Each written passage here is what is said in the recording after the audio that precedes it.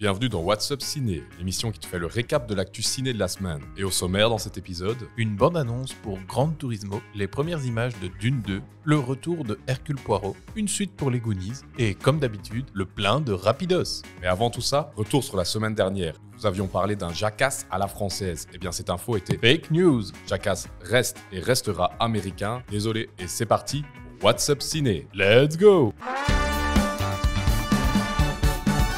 Et au sommaire, Une bande-annonce pour Gran Turismo. Vroom vroom. Quelques mois après Super Mario Bros, un nouveau jeu vidéo s'apprête à débouler sur les écrans. Cette fois, il s'agit du culte Gran Turismo, simulateur de course de voitures qui a marqué les joueurs de plusieurs générations. Le film raconte l'histoire d'un jeune joueur de Gran Turismo qui, grâce à un concours organisé par une écurie automobile, se retrouve à piloter en conditions réelles. Le plus étonnant dans tout ça, le film se base sur une histoire vraie. C'est Neil Blomkamp, l'excellent réalisateur de District 9 ou encore Elysium qui est aux commandes du film. On est content pour le cinéaste qui retrouve enfin un projet à la hauteur de son talent. Et les premières images nous confirment que Gran Turismo sera spectaculaire avec de la vitesse et des crashs en série. Au casting, on retrouve notamment David Harbour et Orlando Bloom. Sortie prévue le 9 août.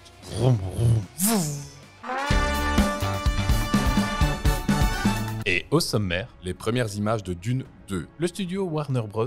nous dévoile un trailer qui va ravir les fans du très attendu Dune 2. On retrouve un Paul Atreides, toujours joué par Timothée Chalamet, qui tente de dompter un ver de sable, ainsi que des nouveaux personnages interprétés par Florence Pugh, Léa Seydoux et surtout Austin Butler, qui incarne un des grands méchants de la saga, à savoir Fade Rota. Les images sont d'une beauté à couper le souffle avec des étendues désertiques qui n'en finissent pas. On peut également s'attendre à plus d'action que dans le premier volet, puisque la bande-annonce nous promet un affrontement au couteau entre Atreides et Fate Rota. La révolte gronde sur Arrakis avec la rébellion qui s'organise et s'apprête à prendre les armes. Dave Bautista, Javier Bardem, Zendaya et Josh Brolin reprennent leur rôle dans cet épisode. Sortie prévue le 1er novembre. Tu dis Chalamet, toi? Et au sommaire, Le retour d'Hercule Poirot. voici le troisième volet des aventures du célèbre détective belge Hercule Poirot. Après le meurtre de l'Orient Express et Mort sur le Nil, c'est Mystère à Venise qui va bientôt débarquer sur les grands écrans. Il s'agit d'une adaptation de la nouvelle Le crime d'Halloween de l'écrivaine Agatha Christie. On y suit un Hercule Poirot fraîchement retraité qui flâne à Venise. Le détective se retrouve malgré lui mêlé à un assassinat qui survient lors d'une séance de spiritisme à laquelle il assiste. Nous avons pu voir les premières images de la bande-annonce qui promet une ambiance macabre et sombre. Kenneth Branagh, en plus de réaliser le film, joue Hercule Poirot. Pour l'accompagner, on retrouve également Camille Cotin, Jamie Dornan et la récemment oscarisée Michelle Yeoh. Sortie prévue le 13 septembre en France.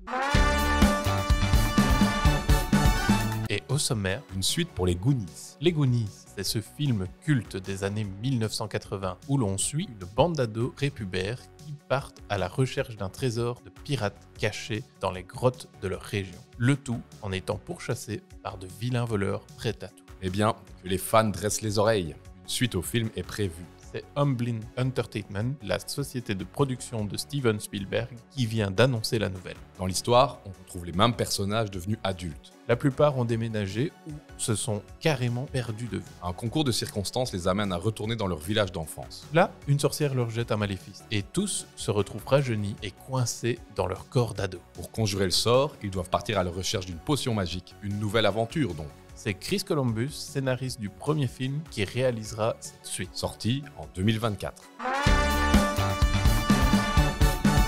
Et maintenant, le plein de Rapidos. Le casting de Gladiator 2 se complète. D'autres noms ronflants rejoignent Paul Mescal au casting de Gladiator 2. Connie Nielsen, déjà présente dans le premier film, reprendra son rôle de Lucilla. Pedro Pascal, que l'on voit décidément partout, sera également de la partie, tout comme Jimon Unso. Au rayon des têtes moins connues, on retrouve Joseph Quinn, qu'on a pu voir dans la dernière saison de Stranger Things. Il y jouait Eddie, un personnage qui a marqué les fans.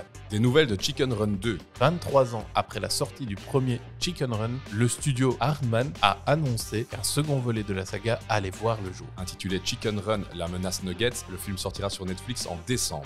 Au niveau du casting voix, on retrouvera Tandy Newton, vu dans Westworld, Bella Ramsey, aperçue dans Game of Thrones, ou encore Zach Zachary Levi, plus connu sous les traits du super-héros Shazam. Un nouveau scénariste pour Blade. Ça commence à sentir mauvais pour le reboot de Blade. Après le départ du réalisateur Bassam Tariq, le studio Marvel a dû trouver un nouveau scénariste pour le projet. C'est Nick Pizzolato, showrunner de la série True Detective, qui s'y colle. Pizzolato retrouvera sur Blade Ali Maher Shala, avec qui il a collaboré dans la troisième saison de True Detective. Marvel souhaite sortir Blade en décembre, autant dire que le calendrier commence à être on ne peut plus serré. Et c'est tout pour cette semaine. Mais attention, une fake news s'est glissée parmi toutes les infos que l'on vous a données. Tu as deviné quelle news était la fausse? Dis-le nous en commentaire. Nous, on te dit quoi la semaine prochaine Et à bientôt dans WhatsApp Ciné.